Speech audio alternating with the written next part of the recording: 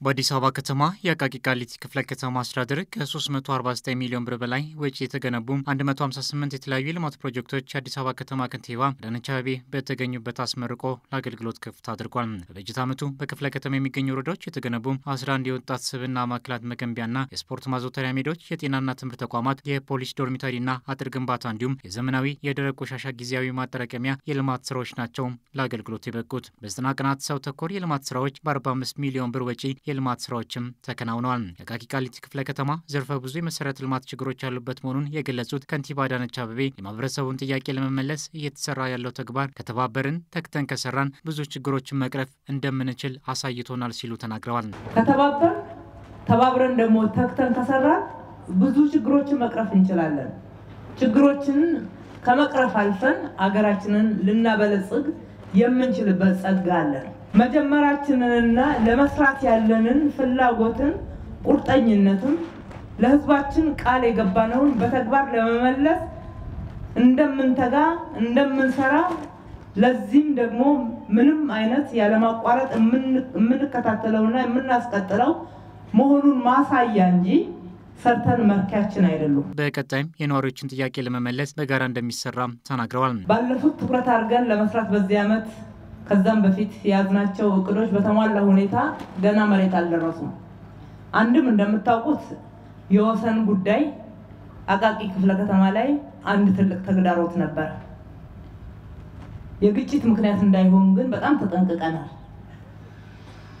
እነኛን ያቀድናቸውን ፕሮጀክቶች ዘንድሮ እናሳካቸዋለን። አዲስ አበባ ከተማ ዲዛይንና ኮንስትራክሽን ቢሮ ኃላፊ ኢንጂነር አያልነሽ ሀብተ ማርያም እንደተናገሩት በበጀት ዓመቱ በመንግስት ወጪ 260 ፕሮጀክቶችን አጠናቀው ማስመረቃቸውን ተናግረዋል። ቢሮው ግንባታ ከተሳተፈባቸው ፕሮጀክቶች መካከል የአቃቂ ፖሊቴክኒክ ኮሌጅ ተጠቃሽ መሆኑንም አንስተዋል። ከ349 ሚሊዮን ብር በላይ ወጪ የተደረገባቸውን ፕሮጀክቶች ጨምሮ በበጀት ዓመቱ ካጠናቀቅናቸው 260 ፕሮጀክቶች ውስጥ አንዱ የሆነውና የተቋሙን አንጋፋና መልካም ስም በጠበቀ መልኩ ገንብተን ያጠናቀቅነው የአቃቂ ፖሊቴክኒክ ኮሌጅ plus five ህንፃ የተቋሙን የቴክኒክ ሙያ ማሰልጠኛ ከማዘመኑም በላይ ሰልጣኞች የተግባር ልምምድ እንዲያደርጉ ምቹ ሁኔታዎችን ከመፍጠር ባለፈ የትምህርት አሰጣጡን በጽዱና በምቹ ከባቢ ለማከናወን አስቻይ ሁኔታን ፈጥሯል። በመንግስት በጀት ከተገነቡት የልማት ፕሮጀክቶች በተጨማሪም በህብረተሰቡና ባለሀብቶች ተሳትፎ የተሰሩ መሰረተ ልማቶች ከ65 ሚሊዮን ብር በላይ ተሰርቶ የተጠናቀቁ ይገኙበታል።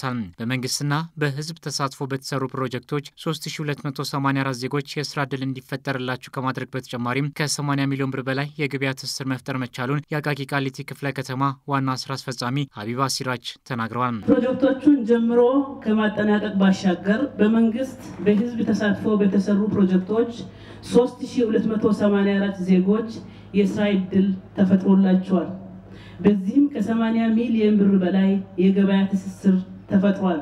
ይህም የሆነው የፕሮጀክት አፈጻጸም ክትትል አግባብነት እየተጠናከረ በመምጣቱ አመራራችን ቁርጠኝነት፣ የህዝባችን ተሳትፎና ባለቤትነት እየጎለበተ በመምጣቱ የሚያሳይ መሆኑን ለወደፊቱም ይህንም አጠናክረን መቀጠር መማር ይኖርብናል። አዲስ አበባ ከተማ አስተዳደር በመዲናዋ የህብረተሰብን ችግር ያቃልላሉ ብሎ ያስገነባቸውን የተለያዩ ፕሮጀክቶች በማጠናቀቅ ወደ ስራ እያስገባ ይገኛል።